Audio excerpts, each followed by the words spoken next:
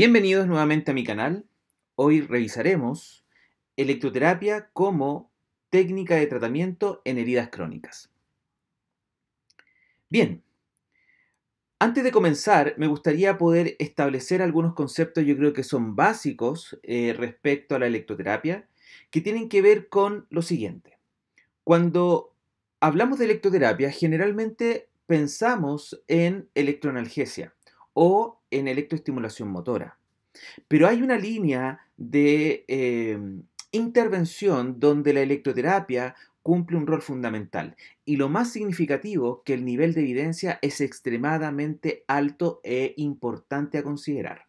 Entonces, para dar pie a esta charla, fíjense que durante la historia muchos se han preocupado de poder estudiar las corrientes eléctricas en base a los estudios de Luigi Galvani o incluso, por ejemplo, en la actualidad con Luther Klotz, podemos entender que la electroterapia no solamente tiene un rol en el proceso de modulación del dolor o en la electroestimulación muscular, sino que además se ha visto que la electroterapia podría cumplir un rol fundamental en el proceso de cicatrización. Entonces, en esta línea del tiempo que yo quiero eh, establecer, si bien hablamos desde Luigi Galvani en el año 1794, cada uno de los autores que ustedes ven ahí, o de estos investigadores e incluso colegas de profesión, se han dedicado a establecer las bases científicas, biológicas y fisiológicas para que nosotros podamos considerar esta forma de intervención para el tratamiento de heridas. Entonces, quiero partir por cada uno de ellos mencionando el aporte que han establecido. En el caso de Luigi Galvani, en el año 1794 y 1797 se dedicó a estudiar el concepto que él eh, estableció como electricidad animal, donde él diferencia y establece que existe un potencial eléctrico bien entre la superficie del tejido dañado versus el intacto.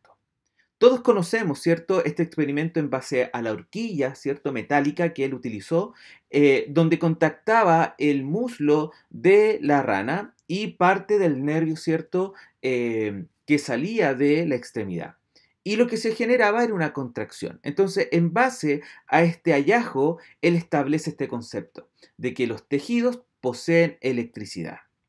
Más adelante, Carlos Mattiucci también eh, experimentando y conociendo lo, mencionado por Luigi Galvani, dice que existe una corriente eléctrica entre un tejido dañado y uno sano. Y por eso él establece que hay algo que se denomina corriente muscular. Paralelo a eso, Emily Dubois también menciona algo bien particular. Dice que el calor o la compresión que se ejerza sobre un nervio intacto causa de que éste se haga electronegativo. Bien, y ojo, con respecto a la región adyacente. Entonces, prácticamente lo que ellos están indicando, eh, y si consideramos lo de Luigi Galvani, los tejidos tienen la posibilidad de poseer una corriente intrínseca que puede ser modificada tanto en un tejido que está sano como en un tejido que está dañado. Entonces, en base a estos últimos dos conceptos de Carlos Mattiucci y de Emily Dubois, en la actualidad se conoce un concepto que se llama corriente de lesión. En el caso de Julius Bernstein, él también contribuye a poder establecer las bases de lo que vamos a, desarrollar más adelante. Él, en base a sus investigaciones, establece la teoría de la membrana, donde propuso que las células excitables están rodeadas de una membrana selectiva permeable al potasio. Entonces, Prácticamente lo que mencionaba Luigi Galvani, lo que mencionaba Carlos Mattiucci e incluso Emily Dubois tienen relación y probablemente están en lo cierto. Fíjense que un poquito más eh, contemporáneo, en el año 1983, eh, Fold y Barker publican este tremendo artículo, que de alguna manera resumen en, ese año lo que se conocía respecto al concepto de batería de la piel. Es decir, que la piel humana puede tener también un concepto, bien, o puede comportarse como una pila. Entonces ellos lo que hicieron mediante un experimento como aparece ahí en la imagen de la izquierda, midieron los potenciales eléctricos de la piel con agujas de vidrio y fueron capaces de poder determinar cuál era esa diferencia potencial. De hecho, la imagen de la derecha, que voy a indicar con el ah, indicador del, del mouse, fíjense que se puede observar los sitios en el cual se realizó la punción para poder hacer la medición. Y en este estudio no solamente participaron hombres, participaron mujeres, participaron niños, adultos mayores. ¿Cuál fue la conclusión? Que establecieron que el estrato córneo poseía un potencial eléctrico negativo a diferencia de la dermis. Eso significa que ellos pudieron identificar que la epidermis va a tener un comportamiento más negativo que lo que tiene la dermis. Ahora, ¿qué es lo interesante? Que en el año 1980, también, eh, en este caso Barker, pero ahora en conjunto con Cynthia Illinggrove, en base a una, experimentación netamente eh, en humanos, fíjense que ellos identificaron que existía un flujo de corriente en heridas posterior a la amputación de dedos en infantes. Es decir, que los niños que llegaban con amputación, bien, y que luego eran sometidos a un proceso de evaluación, el foco de la herida emanaba una gran cantidad de corriente eléctrica. Y concluyen que esta gradiente de corriente podría cumplir un rol en el proceso de cicatrización. Es decir, tenía una función netamente celular. ¿Y qué es lo interesante? Que si bien la gran mayoría en nuestro proceso de, enseñanza, de aprendizaje, eh, tanto en el, en, el, a lo mejor en el pregrado como en el posgrado, hemos estudiado el proceso de inflamación. Hemos estudiado los, los tiempos, las etapas, eh, incluso los agentes celulares que participan, pero acá nos están hablando de un nuevo concepto, un nuevo paradigma, que probablemente hay un componente eléctrico que participa también. Entonces, fíjense que Barker, Huff, ¿cierto? Y Van dice, demostraron que hay un flujo real de movimiento de iones positivos fuera de una lesión, bien, en la piel, y debido a una función alterada de la batería de la piel. O sea, prácticamente lo que indicaba Luigi Galvani al contactar cierto la horquilla entre el muslo y el nervio, se generaba un potencial y eso generaba la contracción. Acá prácticamente están mencionando lo mismo. Si yo tengo una herida, prácticamente la herida emana una cantidad de corriente eléctrica. Entonces este flujo real de iones positivos se puede ilustrar en la imagen que está abajo. Si ustedes se fijan, acá tenemos un esquema de la piel hay una ulceración e inmediatamente se establece de que la parte central de la herida tiene un componente más bien negativo respecto a la periferia. De hecho, si ustedes pueden observar, la dermis en la zona en la cual se mantiene intacta mantiene su potencial eléctrico, es decir, que la dermis pasa a ser positiva, y al momento de generarse la injuria, inmediatamente se observa un flujo de corrientes eh, positivas desde las zonas que no están dañadas hacia el centro. Y esto es lo que mencionaban estos autores, que existía un movimiento real de cargas. Entonces, en estricto rigor, si se considera la piel como una batería o como una pila, nosotros sabemos que las baterías pueden entrar en cortocircuito. Entonces, desde ese concepto podemos establecer que la piel, cuando se ve injuriada, también su potencial podría llegar a cero, es decir, podría generarse un cortocircuito. Entonces, de acuerdo a la ilustración que aparece acá, dice que el modelo predice un flujo de eh, corriente desde la batería de la piel intacta a lo más profundo de la herida, que fue lo que mencioné anteriormente. Acá tenemos la dermis y prácticamente hay un flujo de carga eléctrica hacia el centro. Y es lógico, porque si se cambia el potencial interno de la herida, es decir, que antiguamente o en estado normal la epidermis era negativa, la dermis es positiva, en la injuria el centro de la herida se torna electronegativo. Entonces, por diferencia de carga, va a haber un flujo de la carga opuesta hacia el centro. Entonces, este movimiento de cargas que obviamente predice este modelo, podría ser responsable del proceso de cicatrización. De hecho, fíjense que Fall, eh, Huff y eh, Van también indicaron que esta corriente lateral, que va desde la zona intacta hasta el centro de la herida, podría ser responsable de la aparición de la costra. Entonces, las células epiteliales, como en el caso de la piel, mantienen siempre un permanente flujo de iones y esto gracias a la distribución homogénea de canales tanto de sodio, de potasio y de cloro. Pero además hay que considerar que eh, se menciona que esta modificación del campo eléctrico de la piel puede ser el primer mecanismo para el inicio de la cicatrización. Interesante. ¿Por qué?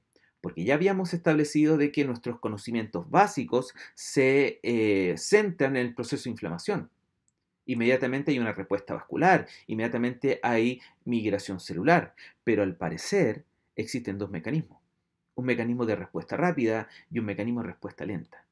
Entonces, de acuerdo a lo que menciona Sao, probablemente el mecanismo de respuesta rápida al proceso de inflamación y de reparación tiene que ver con un cambio potencial eléctrico local mientras que el proceso inflamatorio que nosotros conocemos corresponde a un mecanismo de respuesta lenta.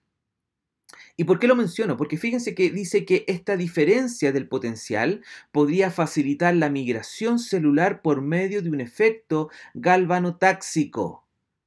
Es decir, aquí ya no hablamos de quimiotaxis, hablamos de electrotaxis.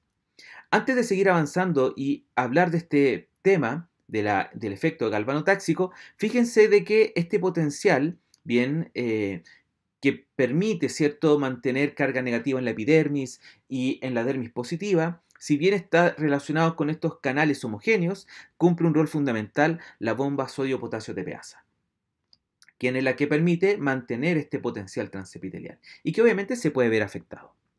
Entonces, Tal como ya lo mencionamos, establecimos que la epidermis tiene una carga más bien negativa respecto a la dermis en condición fisiológica normal, pero cuando entra en injuria se produce un cambio, es decir, el centro de la herida se hace electronegativo, facilitando el desplazamiento de cargas positivas de las zonas intactas hasta el centro de la lesión.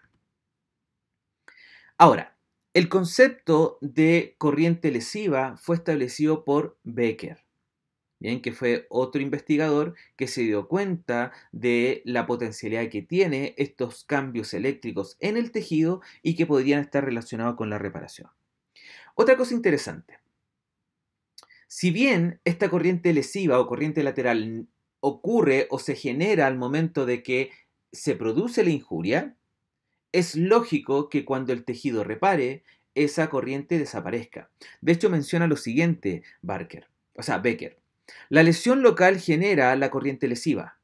La corriente local influye en los procesos de reparación de los tejidos y a medida que los tejidos se reparan, disminuye la corriente lesiva. Entonces, tal como ustedes pueden ver en la ilustración, donde tenemos eh, campo eléctrico lateral o corriente lateral, versus eh, la, evolución de la herida en el tiempo, en los días. Y fíjense que tanto en ratón como en piel humana, el potencial cierto de corriente eléctrica lateral empieza a disminuir. Entonces, por eso tiene una lógica muy similar al proceso inflamatorio que conocemos. El proceso inflamatorio también entra en un proceso de decadencia cuando el tejido repara. De la misma forma ocurre en, el, en este caso en la corriente lateral. Bien, eh, Verónica en el año 2012 hizo una, mm, un estudio eh, de, manera in vitro utilizando piel humana como también piel de cerdos y quiso observar el proceso de eh, y midió también el potencial eléctrico que se producía durante los días. ¿Qué es lo interesante? Que tal como ustedes pueden ver en la ilustración arriba, en el día 2, ¿cierto? Se produce eh, la lesión in vitro y a partir del día 4 ya comienza a haber migración celular, ¿bien? Al día 6 ya se pueden ir observando la diferenciación de los estratos e incluso al día 9 ya están todos los estratos diferenciados. Entonces, ¿qué es lo interesante? Que ella menciona que el TEP o el potencial transepitelial se restauró durante la reepitalización, es decir, si se daña la piel, también se daña la bomba sodio-potasio tepeasa, y esta tiene que volver a regenerarse.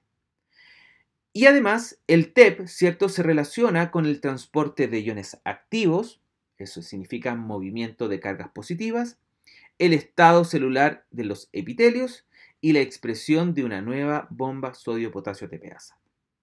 Entonces, si ustedes se dan cuenta, fíjense que en el día 8 la medición del TEP mostró un incremento gradual durante el proceso de cierre de la herida. Bien, y dice que se correlaciona con la diferenciación de, los, de la epidermis. Y el valor máximo de este valor del TEP se logró al octavo día. En el día 9 disminuyó Dice, y probablemente relacionado con el aumento del espesor del estratocornio y el aumento de la resistencia de la piel. Entonces, prácticamente como lo vimos en la diapositiva anterior, el potencial eléctrico de la piel disminuye en relación a la reparación. Bien, habíamos hablado sobre el efecto galvanotáxico y galvanotaxia significa o se define como el movimiento de ciertas células influenciadas por la presencia de un campo eléctrico.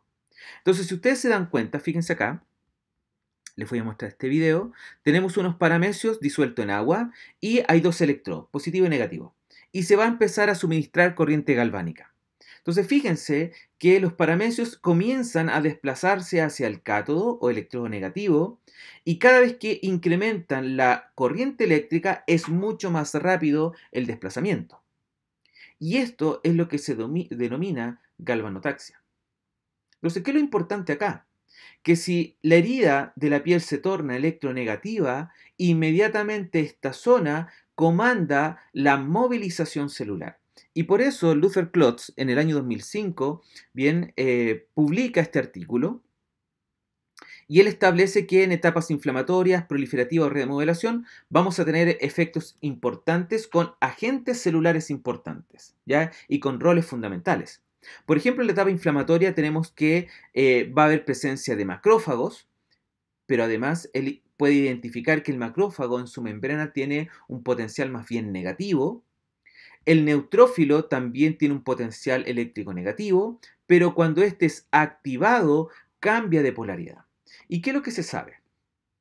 Como el neutrófilo participa en el proceso de fagocitosis, bien, de en este caso de bacterias, como de, cualquier otro agente patógeno, eh, las bacterias en sí poseen una intensa carga negativa.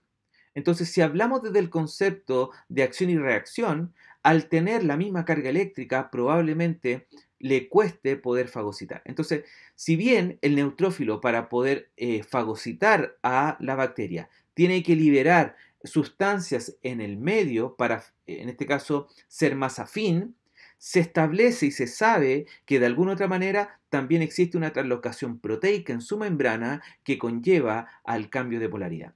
Y ahí es cuando se activa. Fíjense que el fibroblasto tiene carga eléctrica positiva. Eso significa que se tiene que desplazar al electronegativo, a, a la electronegatividad. Y por otra parte, fíjense que el miofibroblasto tiene carga positiva, el queratinocito carga positiva y la célula epidermales carga negativa. Entonces, si nosotros pensamos en el proceso de reparación, se, eh, genera este cambio electronegativo en el centro de la herida, prácticamente este puro cambio en, en el campo eléctrico puede movilizar las células y no necesita de la presencia de factores quimiotácticos. Entonces, quiero mostrarles ahora, fíjense que este es un artículo publicado el año 2013, donde quisieron identificar la influencia que tiene la integrina alfa-2b1 como el ROA en la migración del fibroblasto. Entonces, ustedes pueden ver arriba eh, cómo el fibroblasto pudo ser inducido a desplazarse eh, y aparece su tinción. Y esa tinción tiene que ver con la integrina. ¿Qué es lo interesante? Que aquí ocuparon distintas corrientes. Ocuparon las corrientes galvánicas, las cuales van a estar en voltaje, las corrientes farádicas, corrientes de alto voltaje, sinusoidales y diadinámicas. ¿Qué es lo interesante acá? Que el primer gráfico que habla sobre velocidad de migración, podemos observar que todas aumentaron la velocidad en la cual esta migra. Pero se destaca mucho más la corriente galvánica. Por otra parte, si vamos abajo al gráfico B, donde se habla de la direccionalidad, en el gráfico todos los valores positivos representan el ánodo, mientras que todos los valores negativos representan el cátodo. Entonces, si el fibroblasto posee una carga positiva en su membrana, lo lógico es que se desplace al polo negativo. Entonces, ¿qué es lo que mostró esta, esta investigación?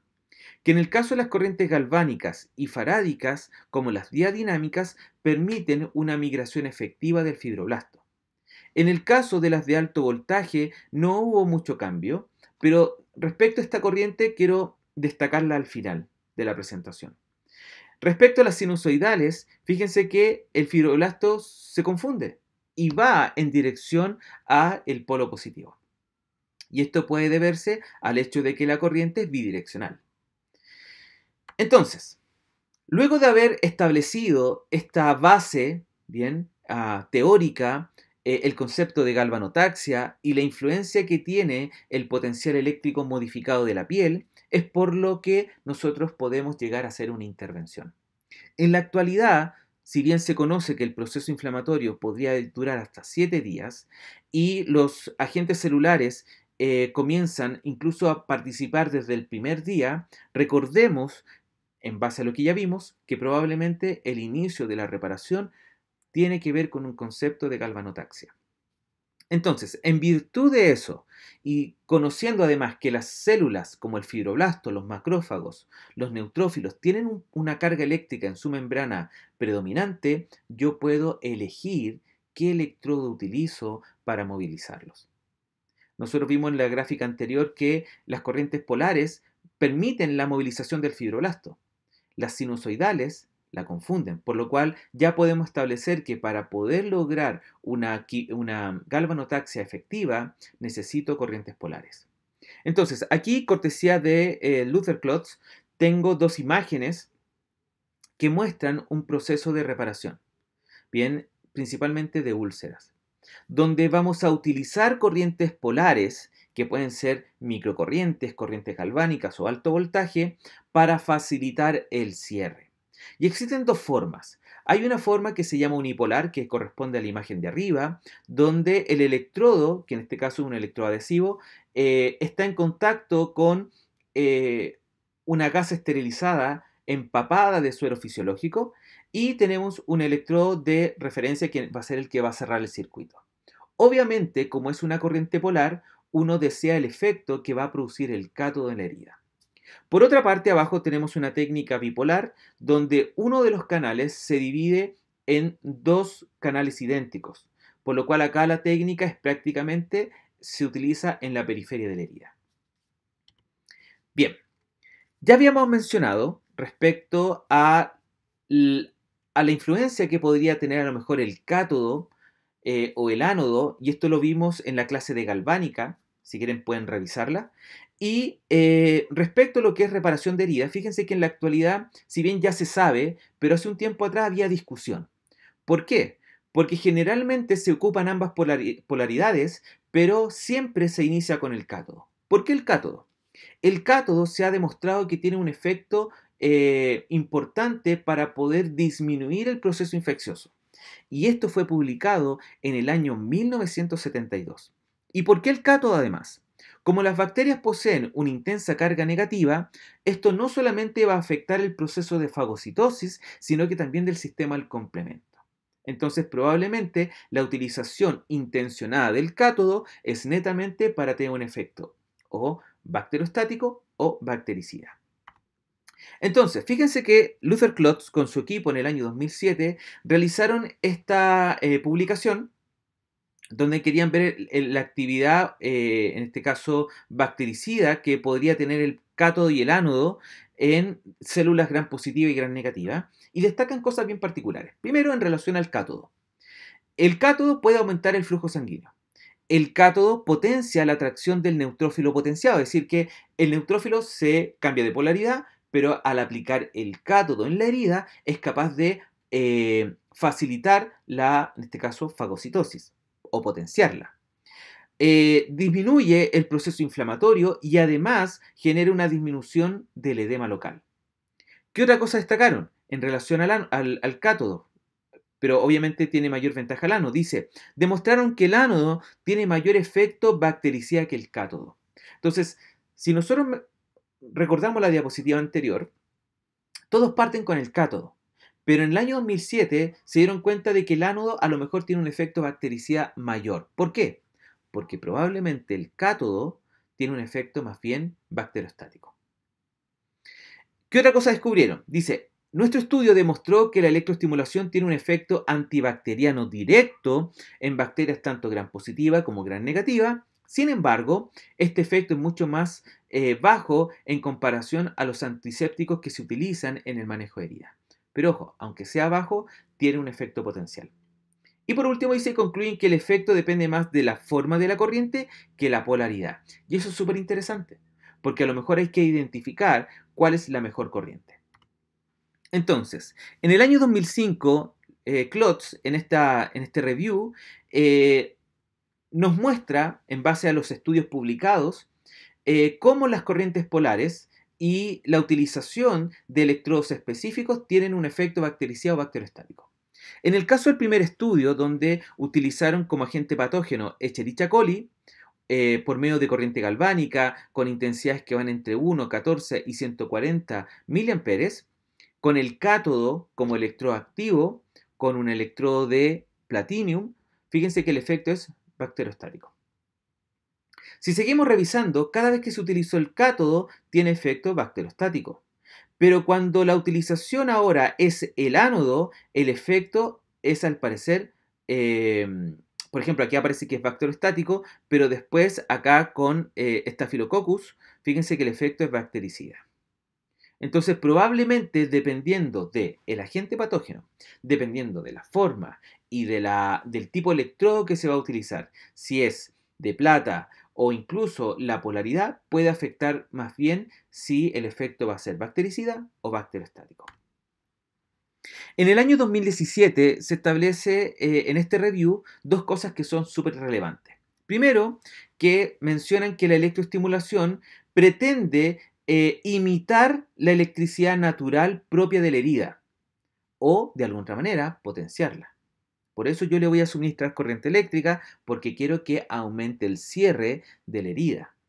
Y por otra parte, mencionan que hay una fuerte evidencia, bien, donde la electroestimulación se puede considerar como un tratamiento antimicrobiano efectivo que lo que habría que establecer un protocolo específico para saber, dependiendo del agente patógeno existente en la herida, qué electrodo utilizar. En el año 2021, también en este review se establece lo siguiente. Destacan que la electroestimulación limita la inflamación, aumenta la perfusión sanguínea, controla el crecimiento bacteriano, aumenta la migración del fibroblasto, induce la angiogénesis y estimula la actividad de los queratinocitos. También dice que reduce el tamaño de la herida, eh, principalmente si son crónicas, cuando son comparadas con heridas que fueron tratadas netamente con tratamiento estándar y sin la aplicación de electroestimulación. Entonces ya podemos ver que el aplicar electroestimulación es un plus. Y por último dice, la evidencia actual respalda la posibilidad de utilizar la electroestimulación como una terapia complementaria al tratamiento de heridas crónicas. Bien, en el año 2016, Luther Klotz con Anna Pollack eh, empezaron a revisar los efectos que tiene la corriente de alto voltaje. Si bien en un comienzo yo mencioné que eh, en la migración del fibroblasto, eh, en virtud de la integrina alfa 2B1, no tuvo una buena, un buen efecto, pero fíjense lo que ocurre ahora. en esta investigación quisieron ver el impacto que tiene la utilización de corriente de alto voltaje utilizando el cátodo como electroactivo dentro de la herida con parámetros de 154 microsegundos, 100 Hz y 100 volt, aplicado a nivel sensorial por 50 minutos al día, 5 veces por semana, eh, en úlceras por presión tip en estadio 2 y 3, y encontraron que la corriente de alto voltaje reduce la superficie de la herida. Interesante.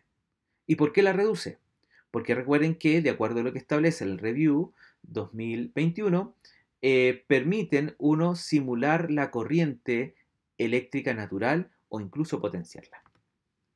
Bien, el año siguiente nuevamente publican ambos, pero ahora con el objetivo de comparar la efectividad de la electroestimulación catódica versus eh, cátodo-ánodo en úlceras por presión en categoría 2 y 4, del 2 al 4. Y establecen dos hipótesis. Primero dicen que la aplicación de eh, corriente alto voltaje catódico solo o cátodo y luego sustituido posteriormente con el ánodo, es decir, que hubo un cambio de electrodo, puede promover eficazmente la curación de las heridas. Y dos, dice que el cátodo y el ánodo son igualmente eficaces para el tratamiento de úlceras por presión, independiente de cómo se aplique.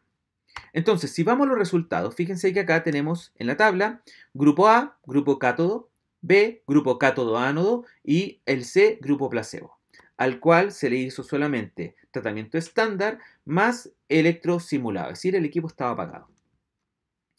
Perdón. Entonces, si observamos el resultado final de cada grupo, fíjense que en cuanto al porcentaje de reducción de la herida a la sexta semana, el grupo cátodo tuvo un 82.34%, el grupo cátodo-ánodo un 70.77% y el grupo placebo un 40%. ¿Qué es lo relevante de este artículo? Que el aplicar electroestimulación, ya sea con cátodo o con cátodo y luego sustituido por ánodo, puede incrementar casi en un 50% el cierre de la herida en comparación a el tratamiento estándar. Entonces, ¿qué es lo relevante acá? Si bien no es un área donde nosotros seamos competentes porque no, se nos, no hay una formación previa en el pregrado, pero fíjense que nosotros, siendo los expertos en agentes físicos, se nos abre una gran posibilidad de poder eh, participar en una área que a lo mejor era desconocida. Y por el simple hecho de conocer cómo funcionan, en este caso, las corrientes polares. Bien, el año 2017 sale este tremendo review, perdón, revisión sistemática, donde de alguna otra manera no solamente querían eh, ver la jerarquía del mejor protocolo para el tratamiento de heridas, sino que además querían ver el tamaño del efecto. Eh, entonces, encontraron lo siguiente, que las corrientes de alto voltaje catódico con el electrodo activo dentro de la herida fue considerado como el mejor protocolo basado en la evidencia para mejorar la cicatrización con una diferencia de media estandarizada de 0.8, siendo ese número eh, con un tamaño del efecto de moderado a grande. O sea, es la técnica. De todas las corrientes, las de alto voltaje son las que mejor se comportan y permiten el cierre de la herida. Luego también mencionan que la electroestimulación es más eficaz en úlceras por presión que en úlceras diabéticas o de origen vascular. Y además establecen que la eficacia está asociada inversamente al tamaño y a la duración. Entonces, ¿por qué es tan importante esto? Porque ya conocemos la corriente que debemos utilizar. Probablemente buscando en la literatura vamos a encontrar artículos sobre microcorrientes, sobre galvánicas, pero fíjense que acá este review ya nos muestra que el mejor protocolo es la corriente alto voltaje. Ya, si analizamos las guías clínicas internacionales, fíjense que en el año 2006 la revista Extra eh, indica lo siguiente. Recomienda la electroestimulación como una terapia alternativa. Interesante. La revista canadiense en el año 2013 Menciona, hay evidencia nivel 1 de dos ensayos controlados aleatorios para apoyar el uso de la estimulación eléctrica para acelerar la tasa de curación de úlceras por presión en estadio 3 y 4. En el año 2014, la guía europea también menciona lo siguiente. Considera el uso de la, de la estimulación eléctrica de contacto directo para facilitar la cicatrización de heridas en úlceras por presión recalcitrantes de categoría 2 así como también en úlceras de categoría 3 y 4. ¿Y qué es lo que se destaca más? Nivel de evidencia A, fuerza de recomendación alta. El año 2017, esta otra revista, eh, que también es canadiense, que habla sobre los fundamentos de, las buenas prácticas para el manejo de herida, destaca que hay un nivel de evidencia 1A para la electroestimulación, indicando de que ésta puede acelerar el cierre de la herida. Y el año 2019 también se establece en la revista actualizada europea que administrar corriente pulsada facilita el cierre de la herida, especialmente en úlceras recalcitrantes, estadio 2, bien, estadio 3 y 4, con un nivel de evidencia A y una fuerza de recomendación alta. De hecho, lo más particular que uno puede destacar al revisar estas guías clínicas que indican que el profesional a cargo es el kinesiólogo o el fisioterapeuta. Entonces, a mí me llama mucho la atención cuando colegas eh, que no utilizan agentes físicos mencionan que no hay evidencia, que los agentes físicos van en decadencia. Pero esto nos demuestra que hay que estudiar más. Esto nos demuestra que hay que considerar los agentes físicos. ¿Por qué? Porque los beneficiados al ser eh, tratados con estas técnicas o procedimientos no somos nosotros, son nuestros usuarios.